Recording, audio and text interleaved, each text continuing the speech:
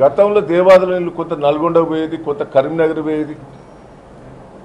వాటి క్లియర్గా వరంగల్ జిల్లాకే వాడుకుంటట్టు కూడా నిన్న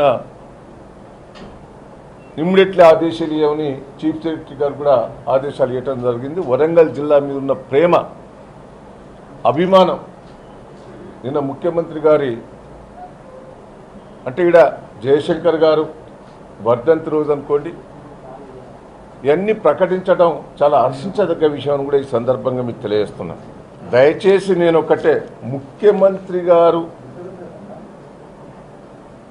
అనుకున్న దానికంటే బాగా చేస్తాను.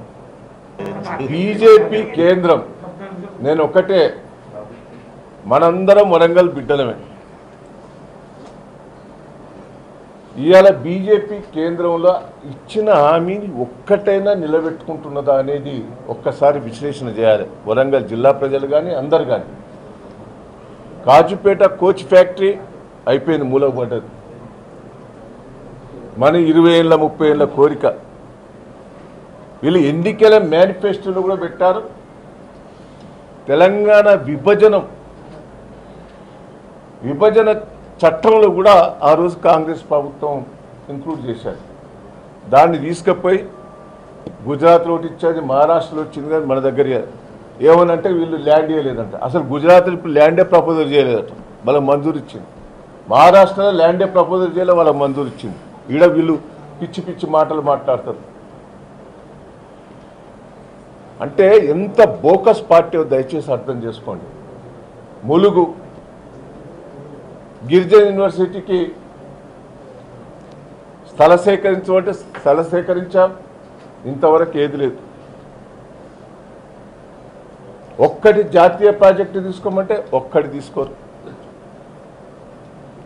మన అక్కడ ఉక్కు బయ్యారం ఉక్కు ఫ్యాక్టరీది తెలంగాణ మన ఈ విభజన చట్టంలో మేనిఫెస్టోలో పెట్టారు. తెలంగాణ విభజన చట్టంలో కూడా పెట్టారు. అది పోయింది ఇచ్చిన హామీలు ఒక్కటి నిలబెట్టుకోలే. అన్ని అబద్ధాలు బోకస్ తోటి ఓ బీజేపీ పార్టీ ఒక చెత్త పార్టీ చెత్త ప్రభుత్వం. మేము అనవద్దు కానీ బాధతో అంటున్నాం. అంటే ఒక్క పని కూడా వాళ్ళు చేయలే. ఒక్కటి చేయలే. ఏదైనా గింతంత చేసి ఇంత అంత చేసినామని చెప్పుకుంటా. అసలు మీరు పెట్టినవి మీరు హామీలు ఇచ్చినవి మీరు నిలబెట్టుకోండి. విభజన చట్టంలో ఇచ్చిన హక్కును కూడా కాలదొచ్చిన వాళ్ళు మీరు. ఇంకా తప్పుడు ప్రచారాలు చేసి బోకస్ మాటలతోటి ప్రజలు నమ్మించే ప్రయత్నం ఎవరు కూడా చేయొద్దు బీజేపీ పార్టీ. ప్రతీది కూడా పిచ్చి పిచ్చి మాటలతోటి పబ్బం గడుపుకుంటున్నారు దయచేసి అడ్డుపడే ప్రయత్నం చేసి నిన్న కూడా అక్కడో ఇక్కడో అడ్డుపడే ప్రయత్నం చేసి న్యూసెన్స్ చేసే ప్రయత్నం చేశారా? తప్పు అని కూడా ఈ సందర్భంగా తెలియజేస్తున్నా. వరంగల్ ప్రజలు ప్రతిసారి మీకు బుద్ధి చెప్తారు. సిగ్గు శరం ఉంటే ఇంటికాడ పడి ఉండండి. ఎమ్మెల్సీ గ్రాడ్యుయేట్ ఎన్నికల ఉన్న సీటు పోగొట్టుకున్నారు. హైదరాబాద్ సీటు. ఇంకా మీకు సిగ్గురాలే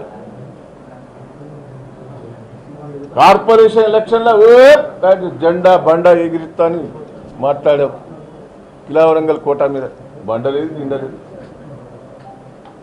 దయచేసి నోరు మూసుకోండి పడి ఉండండి కేసీఆర్ గారు చేస్తున్నారు సహకరించే ప్రయత్నం చేయమని వరంగల్ జిల్లా ప్రజల తరఫున కేసీఆర్ గారికి ప్రత్యేకంగా కృతజ్ఞతలు ధన్యవాదాలు. అంటే వాస్తవంగా చెప్పాలంటే కేటీఆర్ అంటే ఒకటి ముఖ్యమంత్రి దానికంటే ముందు ఇప్పుడు మనం జేఎంఎం అది జార్ఖండ్ తీసుకుంటే ఇప్పటికీ శుభ